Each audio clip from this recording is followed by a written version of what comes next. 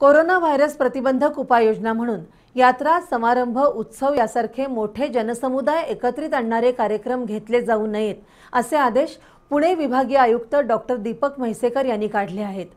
त्यामुळं कोल्हापूर महापालिकेच्या वतीनं घेण्यात येणारी महापौर केसरी कुस्ती स्पर्धा रद्द करण्यात आली आहे अशी माहिती महापौर निलोफर आजरेकर यांनी पत्रकार परिषदेत दिली.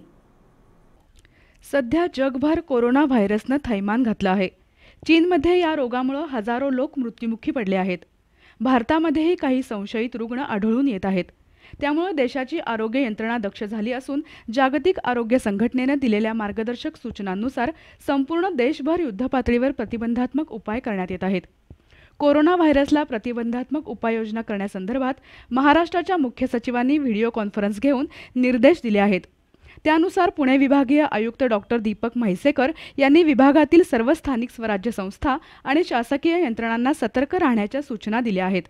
तसंच यात्रा समारंभ उत्सव यासारखे मोठे जनसमुदाय एकत्रित आणणारे कार्यक्रम करू नयेत असे आदेशही म्हैसेकर यांनी आज काढले आहेत.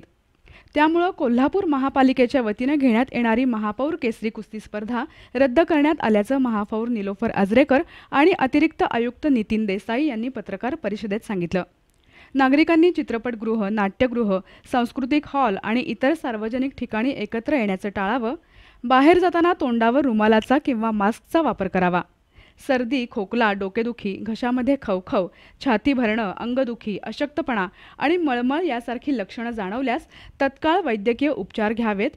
स्वतः औषधोपचार न करता वैद्यकीय सल्ल्याप्रमाणेच उपचार करून घ्यावेत असं आवाहन अतिरिक्त आयुक्त नितीन देसाई आणि महापौर आजरेकर यांनी केलंय.